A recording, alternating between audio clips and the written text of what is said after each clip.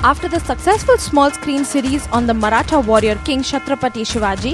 well-known art director Nitin Desai is all set to produce the film for international release by 2012. इस फ़िल्म से producer Nitin Desai Shivaji Maharaj के values और cultures को ले जाना चाहते हैं globally according to the producer ये फ़िल्म रिलीज़ होगी इन द ईयर 2012 और इसकी फ़र्स्ट स्क्रीनिंग होगी at Raigad fort on the occasion of राज्य अभिषेक दिवस